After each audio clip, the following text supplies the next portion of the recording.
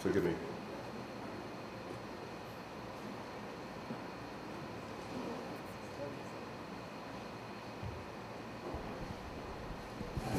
Ladies and gentlemen, members of the diplomatic corps, friends, and members of the media, welcome to the launch of the AFC's campaign.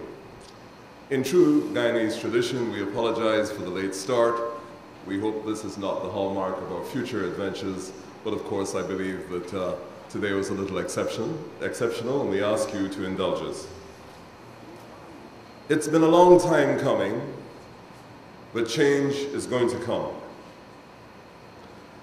We have experimented over the last four to five decades with various philosophies, various political plans, various parties, various leaders.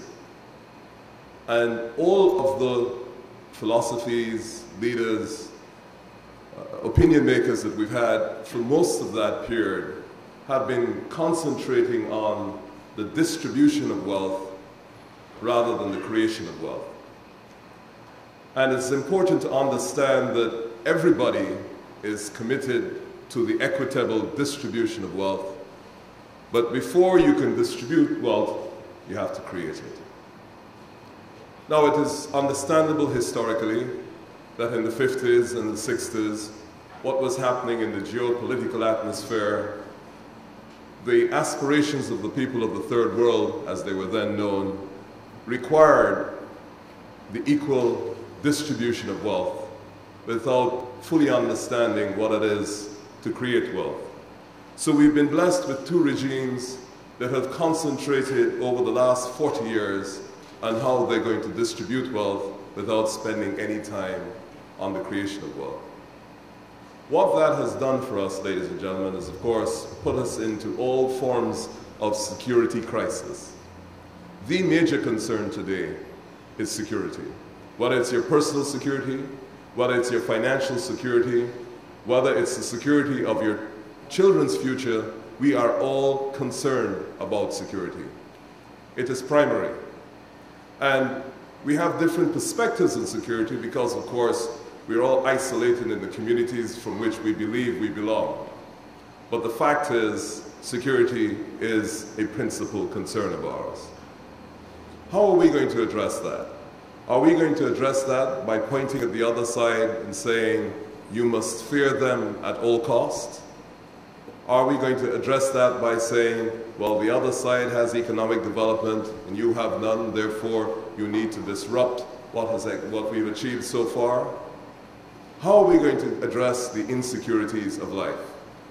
And the reality is that however you cut it, however you dice it, however you analyze it, neither of the two parties that we have had, or two principal, principal parties that we have had up to the year 2005, have been able to provide the citizens of this country with a solution. So whether you turn in 1964 to the PNC, whether we turn to independence in 66, whether we turn to the PPP in 92, the reality is every turn that we have taken to date has not delivered to us the goods. So there comes a point in time in history where even if the odds are against you, you're going to have to make the right turn at some time. So in 2005, two brave young souls came together. Of course, because they came from the belly of both beasts, they were very, very integrally involved in and familiar with the workings, as I put it, of the intestines of those beasts.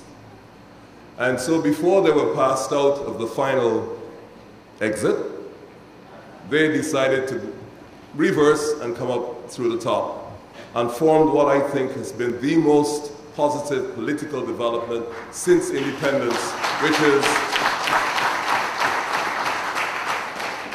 the AFC. Now, having said that, everybody always wants change. But change in itself, or the mantra of change, is not an end. It is only the beginning, because we have to have clear in our mind the nature of the change that we want and how that change is going to inure to our benefit in the future. We don't want change for change's sake because we had change in 92. Everybody thought in 92 the nation would have begun to breathe again because there was another opportunity in the history of Guyana for us to address the inequalities of our past. We were not the authors of the inequalities of our past, but at least we were afforded an opportunity to address it. So we thought that we'd have change. So when we say today at the launch of this AFC meeting that it is time for change, understand that we are not saying that, that we want change for change's sake, but for the first time in our history, we want to actually define our destiny and determine the route map to the, our destiny. When we launched in 2006, I think it would be fair to say that the national consciousness of Guyana was in transit at the Cheddi Jagan International Airport. In 2011, I would say the national consciousness of Guyana is now firmly seated in the economy class of Caribbean Airlines, about to take off from the Cheddi Jagan International Airport. And the challenge we have today, not only as a party, but as a country, is not only how we are going to reverse the location of our national, uh, national consciousness, but it is how we are actually going to create opportunities for our young people for the future. We have to understand that the creation of wealth is an essential part of the development of any country. Somebody has to generate the wealth before the politicians can take it. We have learned over the last several decades, I'm not going to limit it to two, that politicians are very good at taking wealth that you have not yet even created. Long before you get to the market, you have already calculated how much VAT you're going to pay. You know how much tax is going to come out of your environment. And because we have been limited essentially to what we call uh, a socialist philosophy, and I'm not criticizing it. We spent too